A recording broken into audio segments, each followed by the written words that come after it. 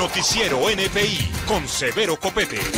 Buenas noches, soy Severo Copete en NPI con las noticias desde aquí. Bienvenidos a esta nuestra primera emisión del año 2011, que cogió a todos nuestros personajes de vacaciones. Están descansando para volver doblemente reencauchados muy pronto. Mientras tanto, los invitamos a seguir viendo las mejores noticias políticamente incorrectas del año pasado, solo aquí, en NPI.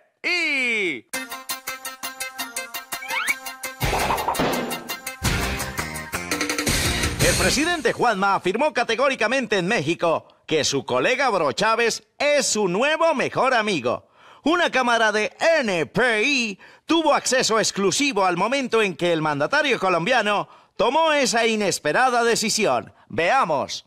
Arroz con leche me quiero quedar con un solo amiguito para dialogar. Que tenga carriel, que tenga lunar, que sea bien derechista para gobernar. De izquierda, derecha. Con este sí, con este no, con este brochavista me quedo yo. Babosos, melifluos, eso es pura diplomacia cosmética. Me voy pero volveré fariseos. Uribe quiere guerra, qué dolor, qué dolor, qué pena. Uribe quiere guerra, nosotros solo paz. Mi amiguín, mi bacán, no vamos a pelear. Uy, pero se le iba yendo la manito, ¿no, presidente? Cuidadito, se me pone arisco, presidente. Uy, con esos mejores amigos, ¿para qué enemigos, cierto, amiguis? Sí, ahí sí lo vi bien, parcerito. con este, sí. Y esta es una información extraordinaria. El presidente vecino, Hugo Bro Chávez, completó más de un mes sin pelear con el gobierno colombiano. En esta fecha de amor y amistad, NPI con los reencauchados pudo establecer la verdadera causa de su inusual conducta amorosa y amistosa. Exclusivo NPI. Señoras y señores, yo también estaba preguntándome por la causa, la razón, el motivo que tiene al presidente Hugo Bro Chávez portándose como un príncipe. El caballero en cuestión ajustó 40 días sin insultar a nadie, un mes largo sin arremeter contra Colombia y a continuación les voy a mostrar el porqué de su silencio, de su sosiego, de su paz interior. Señoras y señores, el Taj Mahal, o Templo del Amor, recibe al Adalid de la Revolución, este sujeto que cambió los insultos y los agravios por el yoga.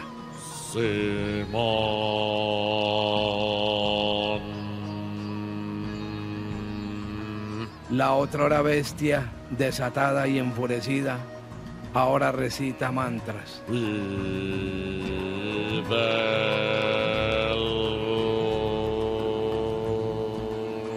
Su grado de concentración es total y su compenetración con el universo es plena. No debo insultar a Juan.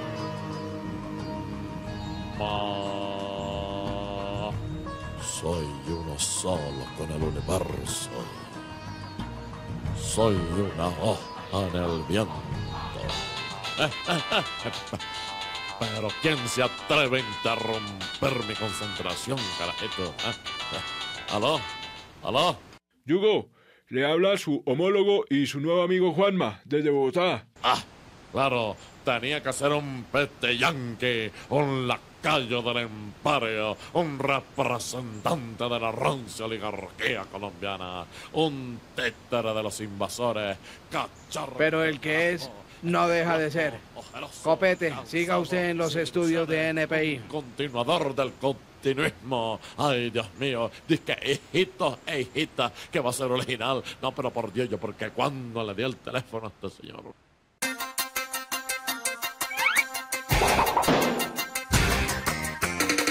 Juan Manuel Santos, quien ya se encuentra en la grata compañía de nuestras corresponsalas Zola y Maruja. Adelante, queridas tías. Mm, doctor Juan Manuel, muchas gracias por haber venido. No, pues muchas gracias por esta invitación. Le tengo que hacer un reclamo, pues.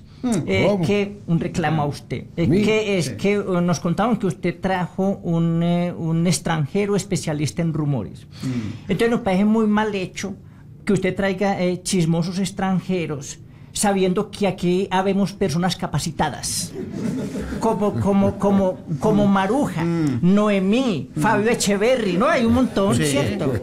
El señor JJ eh, Rendón no nos puede dar trabajo porque es que nosotros ya, ya ayudamos a regar chismes. Por ejemplo, te- te- tenemos uno muy bueno. Sí, de Sí. eh. Mocus es ateo.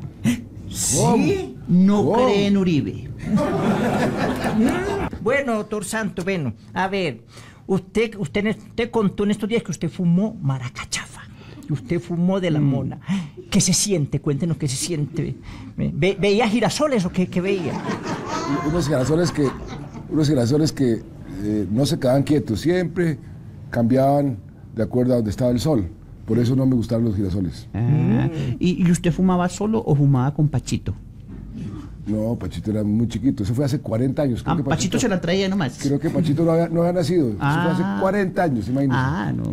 No, es que ya to- tranquilo que ya todos reconocieron. No, que- pero que va a fumar Pachito, no se lo aguantan en un, en sano juicio, ¿cómo será?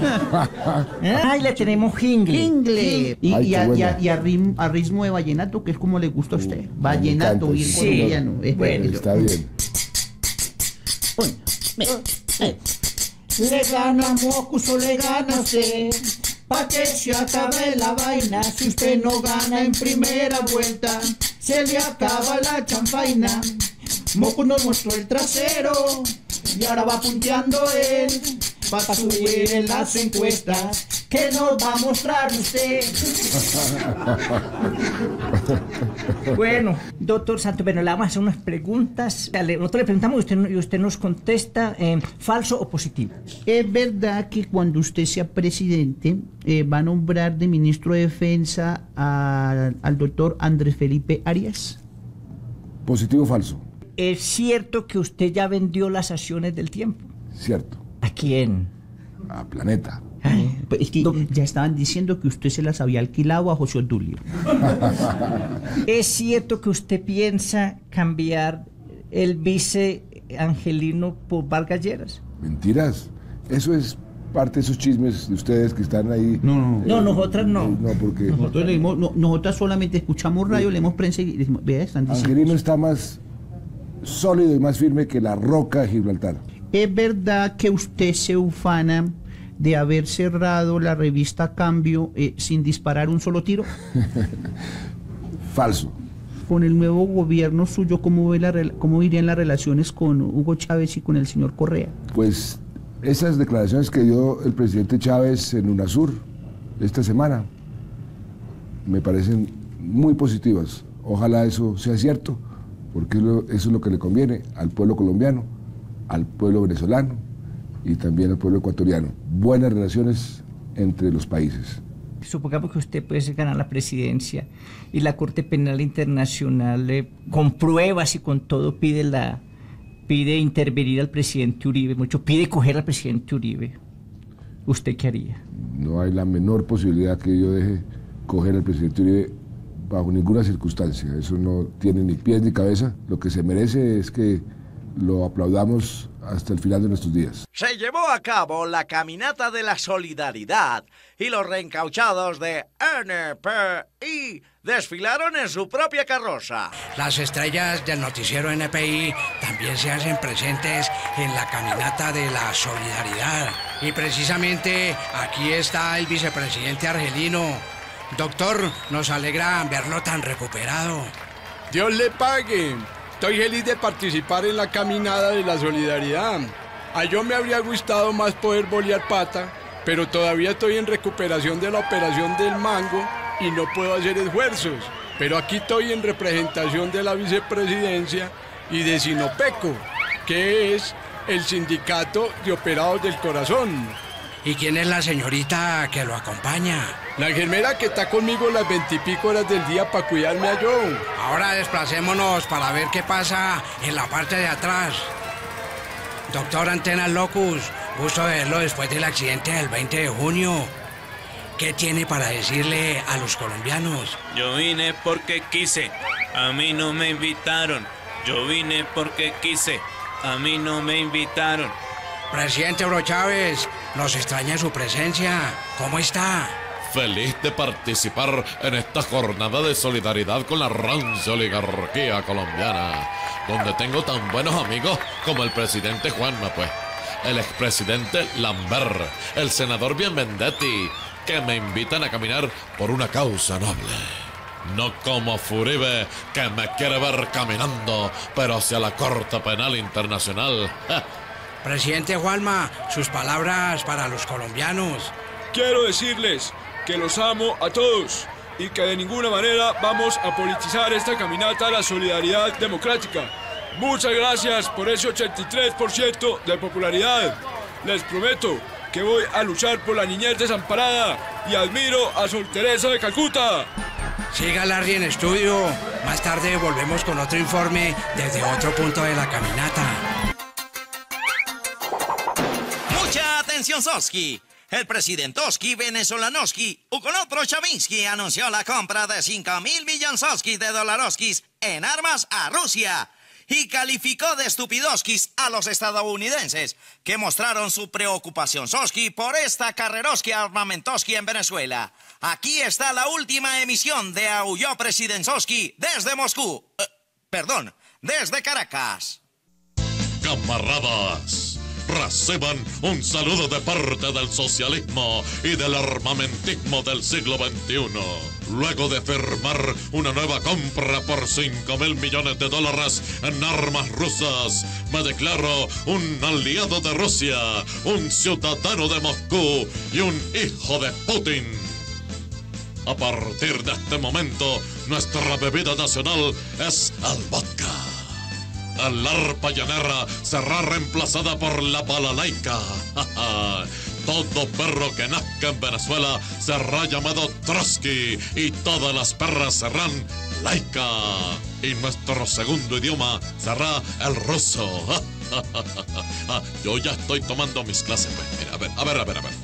¿Cómo se dice fenómeno del niño? ¿Ah? No, no, mire. Ni borrasca, ni ventisca, ni chubasco.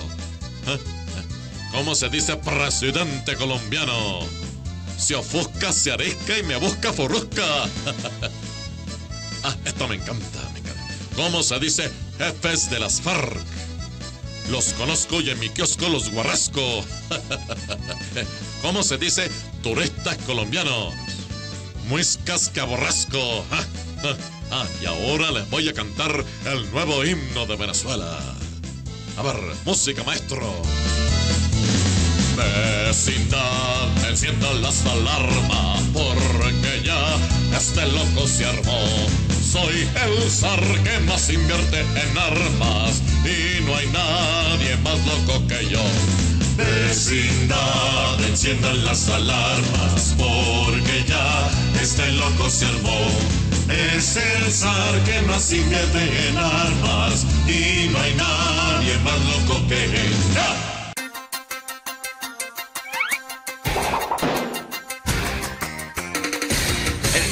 Septiembre de 2010 se cumplieron 17 años de un hecho histórico. El 5-0 de Colombia contra Argentina.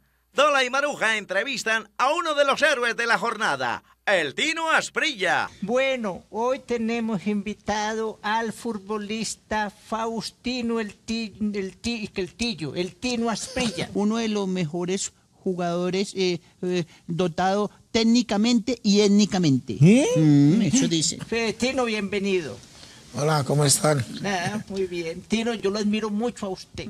E inclusive yo tengo un afiche en la, en la pieza mía, tengo un afiche suyo. Mm, en alto relieve. Mm. ¿El, el- el perchero? Eh, eh, ahí, ahí pone el sombrero a Ananías cuando llega. Mm. Hoy se están cumpliendo 17 años del famoso 5 a 0 de la selección de, de fútbol de Colombia contra la selección de fútbol de Argentina. ¿Cómo fue eso? Uno recuerda con mucha alegría ese, ese momento tan mágico que vivimos, no solamente nosotros los futbolistas, sino todo el país. Eh, nunca es fácil ganarle a Argentina ya y menos con un resultado tan adulterado como este. ¿Cómo los trataban los argentinos ya pues en las calles, en el hotel?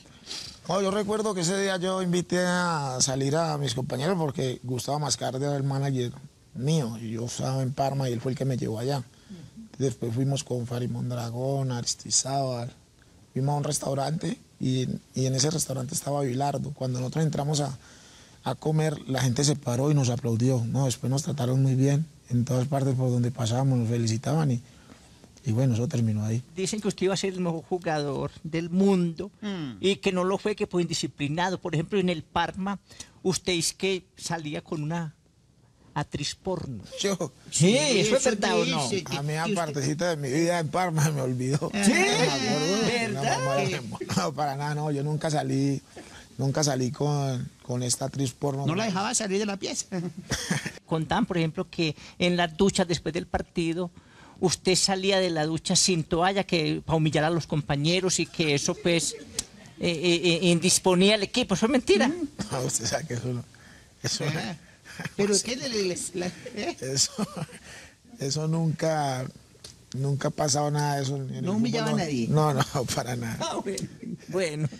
Y, y- pero la, por- porque Ah, la foto, ahí está la, la, foto, fue que una, una el que usted tiene fama, pues Tino, eh, porque una vez eh, eh, jugando fútbol, como que usted pegó un brinco y se le vio todo. La historia de la foto ¿Qué es... fue lo que pasó? La selección Colombia hizo un partido en Bogotá eh, contra Chile. Entonces, cuando llego yo acá, en Italia tenemos la costumbre que siempre te dan pantalonetas, bicicleteros, de dos. En la selección Colombia te daban las pantalonetas y tenías que colocar tu pantaloneta, tu pantaloncillo, tus voces. En ese momento, como yo, después de terminar el partido, yo mandé mis maletas para el aeropuerto porque terminaba el partido, me iba para Tuluá, no dejé los pantaloncillos con que jugar. ¿No cabían en la maleta? Sí cabían. Lo que pasa es que como las pantalonetas eran largas, yo pensé que yo podía jugar con las pantalonetas sin que me viera nada. Nunca en ningún momento pensé que corriendo la pantaloneta se me iba a levantar. Da la casualidad que una periodista del tiempo, creo, hizo una foto y bueno, se me salió. Eh, ¿En qué íbamos? Sí, no. Se me fue la paloma. Mucha atención. Luego del exitoso estreno del desafío, arrancó también el desafío presidencial, que no va tras el brazalete dorado, sino tras el brazalete tricolor y cuatro años de estadía en Playa Alta en la casa de Nari. Pues vamos a Playa Baja, donde están una paisa, un cachaco y un inmigrante luchando voto a voto por llegar a Playa Alta. Primicia NPI. A ver, casi nos toca ir a dormir sin comer, pero Dios también se acuerda de los ateos. Este pescado es sagrado, este pescado es sagrado. No, es que qué competencia tan larga. Y lo más duro es la falta de salón de belleza. Y la aguantada de hambre. ¿Cómo extraño una frijolada en la casa del director del SENA? Estoy fundido. Si esto dura una semana más, voy a necesitar de los santos, pero de los santos óleos. Este pescado es sagrado, este pescado es sagrado. Me perjudica que las pruebas sean de día y en la playa panameña. Yo soy más hábil de noche y en la selva ecuatoriana. Bueno, pero lo importante es estar unidos y empujar todos para el mismo lado. Porque uno de nosotros se va a ganar en junio el brazalete tricolor. La unión hace la fuerza, la unión hace la fuerza. No, ¿cuál unión ni qué pan caliente? Esos dos tipos son unas gallinas que no dejan de quejarse. Esta es mi tercera vez luchando por el brazalete tricolor. Y la tercera es la vencida. Llegó la hora de la mujer. Mire, Angela Merkel en Alemania, Michelle Bachelet en Chile, Laura Chinchilla en Costa Rica. Y como hay que ser positivos, pues yo quiero aprovechar este espacio. Naomi Sanin en Playa Baja en las encuestas. Doctor Juanma, yo le prometo que en caso de ganar el brazalete tricolor, lo protegeré y haré valer sus derechos ante cualquier requerimiento internacional. Eh, tan lindos. Eh, muchas gracias. Qué bellas palabras. Si yo llego a ganar, que se tengan fino Furibe y Juanma, porque no me temblará la mano para mandárselos al juez ecuatoriano que los necesita. Para mí es un orgullo competir con ustedes y les doy la palabra de que en mí van a encontrar a un competidor leal que jamás recurrirá a trampas o argucias. ni se imagina el profesorcito la sorpresa que tengo. Si Locus tiene a Juanes, el de la camisa negra, yo tengo a JJ, el de la publicidad negra. Muchachos, esto ya casi va a estar. ¡Ay, jue... Producción, producción, traigan agua que me estoy quemando por tercera vez. Taluda, está quemando. Mi- mire, se está, se está quemando tres- veces. No, no. Mi- Mire, esa quema. Nos conectamos de nuevo con el desafío presidencial. Más exactamente con Playa Alta, donde se encuentra el actual poseedor del brazalete tricolor. Aquí están las imágenes. Hijitos, reciban un saludo desde Playa Alta, también conocida como la playa de Nari. He estado pendiente del reality para elegir al sucesor del brazalete tricolor y la verdad es que no hay de qué hacer un caldo. Aunque algún candidato me resulta más simpático que otro, todos están flojos. No quiero sembrar terror, pero la corte escogió el peor momento para hundir mi tercera elección. No es lógico que yo me vaya justo cuando Bro Chávez está más armado, cuando Ecuador está más ardido y cuando la investigación por las chuzadas del DAS está más cerquita. De todas maneras, con todo cariño para los candidatos, este tema que dice, ¡ay hombre! ¡ay hombre! Los desafío a ser valientes, pues con Chávez no se puede ser decente. Que candidatos tan enclenques, para reemplazarme les hace falta perrenque. ¡Ay, Dios mío! ¡Upa! Atención, mucha atención. El presidente Furibe decidió coger el toro por los cuernos en el tema de la crisis de la salud. Cansado de tanta polémica por los decretos de emergencia social, cambió el poncho por la bata y se fue a atender pacientes de carnita y huesitos personalmente. Una cámara de NPI estuvo ahí. Aló, sí, claro. Claro que hay que decretar la emergencia social, porque es que el actual sistema de salud tiene más vicios que Pambelé, por Dios. Y que dejen de armar a la araca los médicos y los usuarios, que no todos los tratamientos ni todos los medicamentos quedarán por fuera del POS. Al contrario, algunas nuevas enfermedades que ha detectado la ciencia van a ser incluidas en la lista. Por ejemplo, mire, aquí están. Vea, pastrabismo, desilusión óptica tras cuatro años de mal gobierno, migraña, intenso dolor de cabeza a causa de un cambio repentino de clima de partido político, santosferina, aumento desmedido en el deseo presidencial que se presenta después de la operación Jaqueca, petrómbosis, coágulo formado por la obstrucción de la vena patriótica y la oposición al régimen, moreno de carotiditis, sed constante de vitrina producida por el virus del escandalococo. Bueno, hasta luego porque es que tengo que atender a una paciente. Chao, adiós. Doña Salud, ¿cómo amaneció hoy, por Dios? Pero yo la veo de buen semblante. Tiene ya la cédula registrada. Muy bien, déjeme a ver su historia. A ver, dice, cáncer en fase inicial para tratar con quimioterapia. Vea, doña Salud, le tengo una muy buena noticia. Usted ya no tendrá que venir más por aquí a perder el tiempo y a sufrir incomodidades haciendo esas filas tan largas para ser atendida. Vea, lo suyo por ser un tratamiento costoso ya no le compete al sistema de salud. ¿Me entiende, hijita? La voy a remitir a otra parte. ¿Trajo dónde apuntar? Muy bien. A ver, anote. Funeraria La Luz Perpetua. Pregunta por la gerente María de Rosario y dice que va de parte mía para que le hagan un buen descuento. Deseo de todo corazón que llegue hasta mayo y ya sabe por quién votar.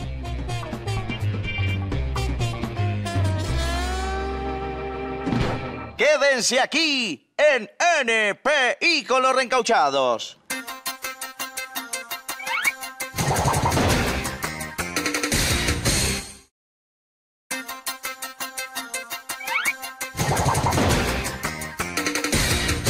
Y arrancamos por un monólogo culebrero a cargo de un expresidente experto en encantamientos. Aquí están las imágenes. Y continuando con el Festival Internacional del Humor, tenemos aquí desde Colombia a Furibe. Quieto, quieto, Juanma, Juanma. Déjate de picardías, que antes de venir vos, aquí reinaba el Mesías. Señoras, caballeros, muchachas, niños, hijitos hijitas en general. Oiga, mira, paren oreja, abran el ojo y pilas en la jugada porque llegó el chacho de la película, el dueño del aviso, el único que se sabe las 33 paradas del machete.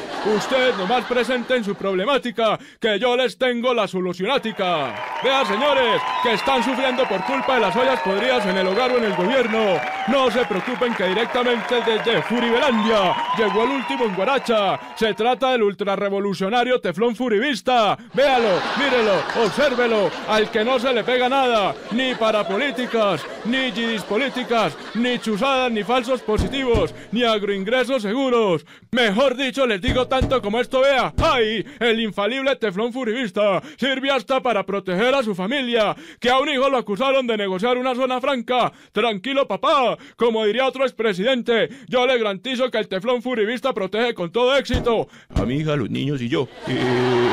Muchas gracias, damas y caballeros. Muy gentiles se despide de ustedes. Aquí el gran culebrero, muchas gracias. Eh, me salió muy bien. Ah, ay, las paticas de Valeriano, por Dios. Ah, lo que hay que hacer para estar uno vigente. El expresidente Furibe y Fidelio desde Cuba se han estado mandando fuertes mensajes. Veamos cómo ha sido este rifirrafe al estilo musical de NPI. ¡Qué pelotera! Se ha armado una nueva greca. Fidel pelea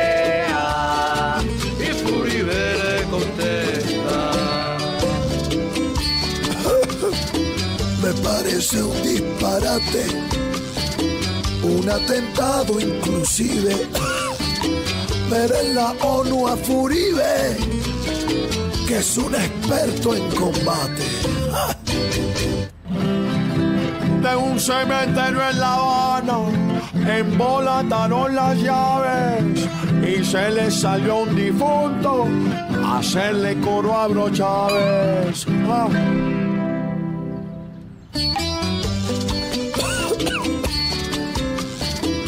¿Quién lo nombra usted veedor de las Naciones Unidas? Se olvida de las heridas de su agresión a Ecuador.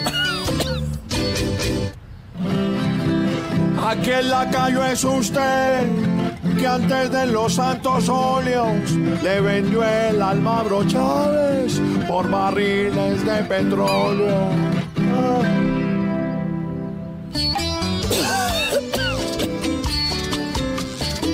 Usted no tiene criterio para integrar comisiones. Lo suyo es llevar razones y obedecerle al imperio. No se vaya que enseguida seguimos el duelo mutuo.